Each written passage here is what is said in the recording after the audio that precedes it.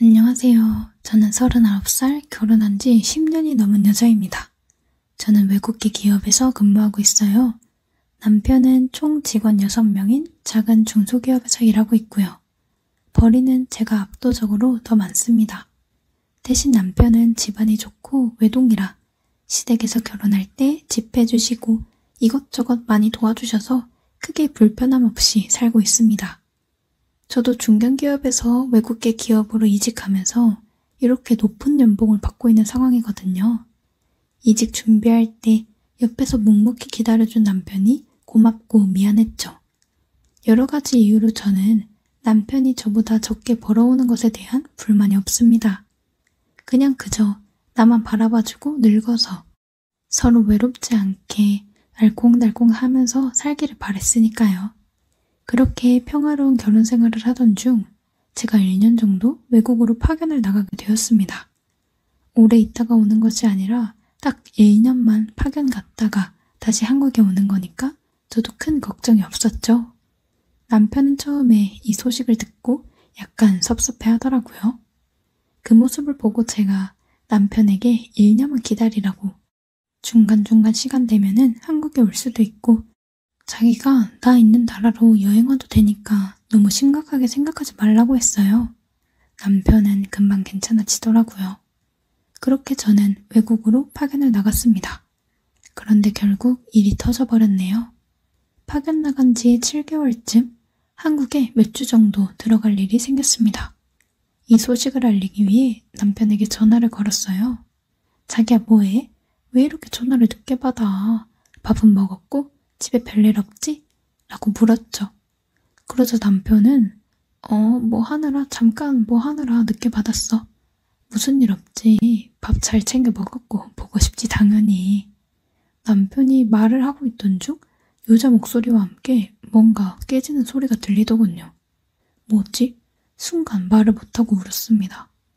그러다 제가 자기야 무슨 소리야? 무슨 여자 목소리야? 뭐가 깨지는 소리 났는데 뭐야? 집에 누구 있어? 왜 집에서 여자 목소리가 나와? 라고 물었죠. 남편은 응? 무슨 소리야? 이거 TV 소리야? 드라마 보고 있었어? 여자는 무슨 여자야? 무슨 여자가 우리 집에 있어? 말이 되는 소리를 해. 방에서 전화 받다가 거실 쪽으로 나와서 TV 소리가 크게 들린 것 뿐이야. 이상한 생각하지 말고 자기 끊어전화 왜 전화했어? 라고 하더군요. 여자의 직감으로 저는 딱 느꼈죠. 아, 얘 지금 완전 거짓말 치는구나. 여자 생겼네. 미쳤구나. 드디어. 드디어 미쳤어. 2년을 못 참아서 여자가 생겨? 이런 미친놈이. 라고 욕이 올라오는 걸 꾹 참고 말했습니다. 아, TV 소리야? 그래, TV 소리구나. 자기야, TV 크게 틀지 마. 얼마나 크게 틀었으면 이렇게 생생하게 소리가 들려? 자기 청력 다 망가진다. 아, 전화 왜 걸었냐고. 아, 아니야. 뭐, 그냥 잘 지내나 해서. 여기 혼자 방에 있으니까 외롭기도 하고, 자기 뭐 하나 생각나기도 하고. 이제 한국 완전히 갈 날 다섯 달 정도 남았으니까 조금만 참고 알았지? 푹 쉬고 사랑해. 라고 하고 전화를 끊었죠. 지금 전화로 화내고 욕해봤자 어떻게 할 수 있는 방법도 없고 일 내면 안 된다는 생각에 정말 격해진 감정들을 꾹 참고 아무것도 눈치 못 챈 척 이야기했죠. 전화를 끊자마자 저는 충격에 몰려와서 물건을 집지도 못할 만큼 손이 덜덜 떨렸습니다. 그냥 가만히만 있어도 얼굴이랑 손이 덜덜 떨리는 게 보이고 느껴질 정도였고요. 온몸에 힘이 쫙 빠져서 숨 쉬는 것도 벅찰 정도로 힘이 들었습니다. 저는 남편에게 아무 말 안 하고 조용히 한국에 입국하기로 마음을 먹었죠. 입국해서 이놈 새끼 바람 피운 거 잡고 끝장내야겠다 하는 마음으로요. 그렇게 저는 3주 뒤 아무도 모르게 한국에 입국했습니다. 저와 가장 가깝게 지낸 남동생이 로스쿨 생이기도 했고, 저와 가장 가깝게 지냈기에 이 모든 사실을 이야기했죠. 남동생은 처음에 제 이야기를 듣자마자 얼굴이 정말 새빨개질 정도로 열을 내고 욕을 하더군요.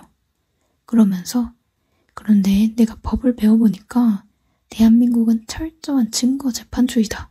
증거 없으면 아무리 혼자서 열내고 화내봤자 끝이다. 다 필요 없고 누나 증거만 모아와. 증거 모아오면 나머지 재판이나 소송은 다 나 아는 선배, 변호사들이랑 법조계 사람들 다 동원해서 재판으로 그놈들 인생 딱 망치게 해줄게 라고 하더군요. 그렇게 저는 소형 카메라 두 개를 사서 남편이 없는 오전 시간에 집으로 들어갔습니다. 집에 가자마자 어이가 없어서 헛웃음이 나더군요. 제 화장대 위에는 그 상간녀로 추정되는 여자의 향수랑 로션, 그리고 파운데이션과 팩트가 있었고요. 아예 살림이라도 차렸는지 식탁에는 그 여자와 아침을 먹고 나서 안 치운 밥그릇들과 반찬들이 널브러져 있었고 딱 봐도 하루 이틀 머무는 꼴이 아니더라고요. 소파 앞에는 그 여자가 짐을 담아서 온 캐리어도 있었고요. 속이 부글부글 끓어서 정말 소리라도 빽 하고 지르고 싶었지만 마음을 가다듬고 카메라를 설치하고 그 여자 물건들과 증거가 될 만한 것들 모두 사진 찍고 나왔죠. 그렇게 3일 뒤 저는 카메라를 회수하러 다시 집에 향했습니다. 집을 도착해서 카메라를 수거하고 제 노트북에 연결시켜 증거가 될 만한 것들이 찍혔는지 봤네요. 뭐 아주 적나라하게 찍혀 있더라고요. 보면서 토하는 줄 알았습니다. 자세한 장면은 말 안 해도 아실 거라고 생각해요. 눈으로 보는 건 또 다르더라고요. 아주 차원이 다른 분노가 올라왔습니다. 당장 툭 건드리면 울음과 함께 폭력이라도 휘둘러 버릴 것 같았어요. 그때는 정말 이성이 툭 하고 끊겼네요. 그 여자 어떤 년인지 내가 얼굴이라도 좀 봐야겠다라고 생각한 저는 신발을 신발장 안에 숨겨두고 기다렸습니다. 저희 집이 1층이에요. 그래서 베란다에서 밖을 내다보고 있는데 아파트 입구 쪽에서 제 남편과 어떤 여자가 같이 들어오더라고요.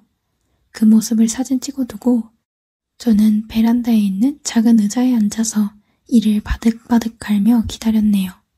띠띠띠 비밀번호 누르는 소리와 함께 남편과 그 여자가 들어오더라고요. 당장 뛰쳐나가서 머리채를 잡을까 하다가 둘이 뭐를 하는지 궁금해서 가만히 있어 보기로 했습니다. 남편은 치킨 먹고 싶다고 하면서 치킨 배달을 시키고 여자는 애교를 부리며 신혼 분위기를 내면서 쇼를 하더라고요. 그러면서 둘이서 안방으로 들어가고요. 제가 숨어있는 베란다 뒤가 바로 안방이거든요. 녹음기 켜고 아주 생생하게 녹음했네요. 참다 참다 진짜 토할 것 같아서 그냥 안방으로 바로 쳐들어갔습니다. 당연히 불륜 현장을 제가 덮친 거죠. 제 얼굴을 보자마자 남편은 완전 깜짝 놀라서 와씨 너 뭐야? 너 왜 여기 있어? 뭐야? 라고 소리치고 그 여자는 어머 나 어떡해 라며 깍깍 소리를 지르더라고요. 저는 그 여자를 붙잡고 말했습니다. 너구나 안방에 걸려있는 신혼사진을 보고도 불륜을 저질러? 너 상간녀야 알지? 너 인생 쪽난 거라고 내가 있잖아 한 성격하거든 그냥은 못 보내주지 어디서 뻔뻔하게 나가려고 해 그냥은 못 가지 하면서 상간녀의 뺨을 때렸고 머리채를 잡아 끌고 현관문 앞까지 질질 끌고 데려가 밖으로 쫓아내고 문을 잠갔죠. 비밀번호를 치고 들어오려고 하길래 안에 있는 걸쇠를 걸고 문은 열리지 않았습니다.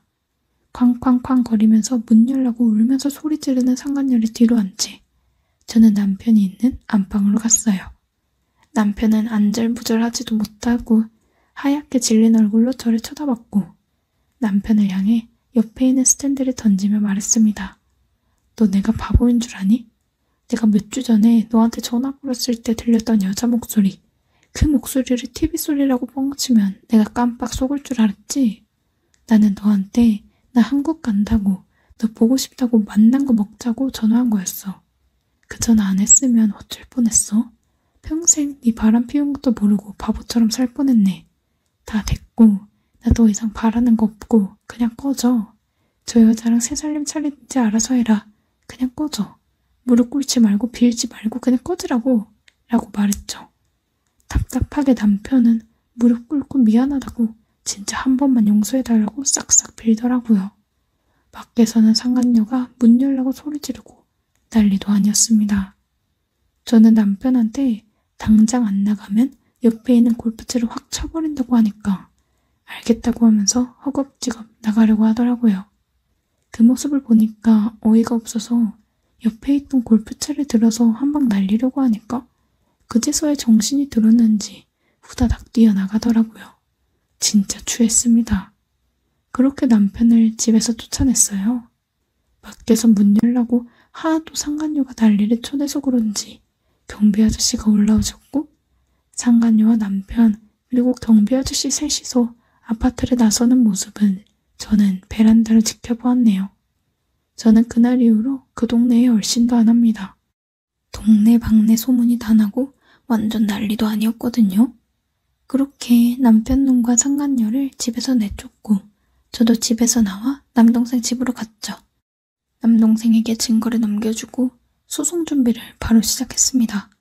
남동생 선배 중에 이혼 전문 변호사로 활동하고 계시는 분이 계셔서 그분에게 사건을 맡겼어요. 몇 주 뒤 저는 일 때문에 다시 출국해야 했기에 굉장히 빠르게 소장을 접수해서 고소를 했고요. 그렇게 저는 해외로 나가서 일을 마무리 짓고 와야 해서 1개월이나 더 집안을 진행했네요. 남편 놈 명의로 된 집은 저에게 재산 분할해서 절반이 넘어갔고 나머지 위자료도 전부 받아냈습니다. 상간녀에 대한 소송은 물론이고요. 아, 기쁜 소식은 남편 회사에 소문이 쫙 퍼져서 결국 남편은 반강제로 사표를 냈다고 하네요. 남편의 외도 소식을 알게 된 시댁 어른들은 뒷목 잡고 쓰러지시고 아주 불효자가 따로 없었네요. 뭐 이제는 제 알바가 아니지만요. 여튼 진짜 그 아파트를 떠들썩하게 했던 저의 이야기를 들어주셔서 감사합니다.